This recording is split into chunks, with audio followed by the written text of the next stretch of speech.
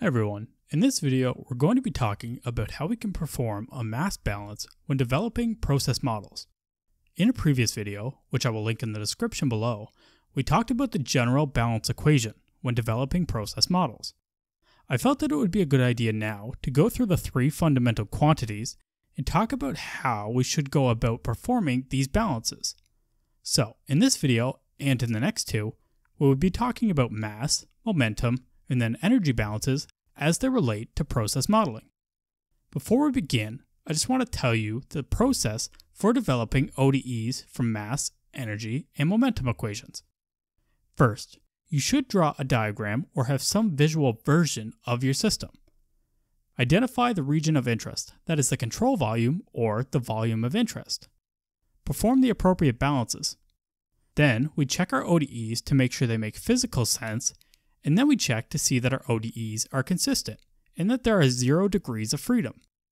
Just keep this list in mind as we work through the rest of the video. And if you are solving some problems on your own, consider writing this list down so you don't have to rush ahead and don't forget any important steps. So, let's finally get right into the problem. Let's create a simple problem in which the only quantity we are interested in is the mass entering our bucket from a hose here. So let's draw a quick little diagram here as that is the first thing on our checklist.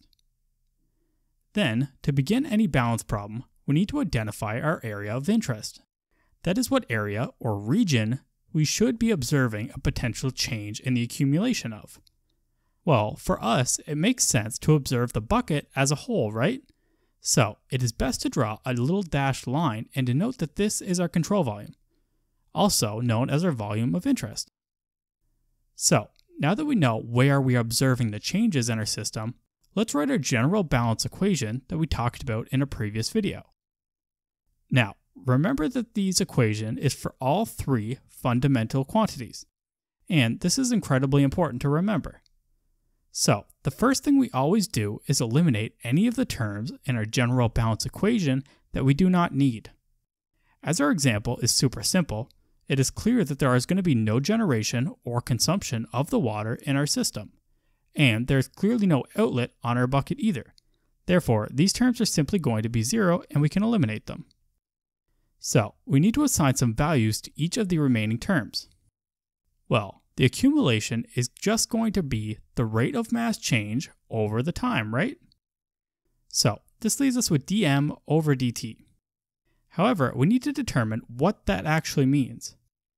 So our accumulation will be the volume times the density, which is the mass, at some point. Let's call it time 2 minus the mass of the fluid initially, which we will denote as time 1.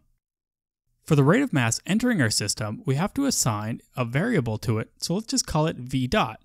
If you're unfamiliar with the dot slash notation, the dot just means that the variable, volume, is per second, so we have a volumetric flow rate, which is meters cubed per second which times density is going to give us mass.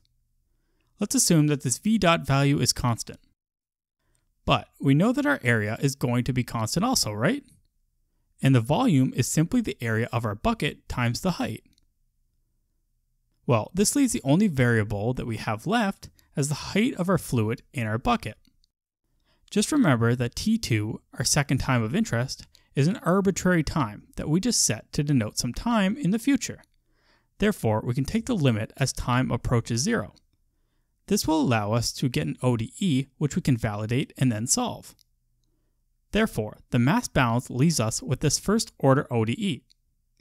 Now, before we try solving this ODE, we need to make sure that it makes sense and then validate it. If you've seen our previous videos, I'd recommend you try this part on your own just so you can see if you could fully understand how we validate ODEs. Alright, so let's make sure that this simple model actually makes sense. Here we select all potential constants and variables and hold them constant, while altering only one value and seeing if the expected behavior is returned to us. So let's hold the volumetric flow rate constant and decrease the area. Well, decreasing the area of our bucket will cause the height to rise, which makes sense. If we were to increase the area, then the height would decrease, which also makes sense. Now let's try the other one. Let's hold the area constant and alter the volumetric flow rate in. the volumetric flow rate into the system increased, then the height would also increase, and same for vice versa.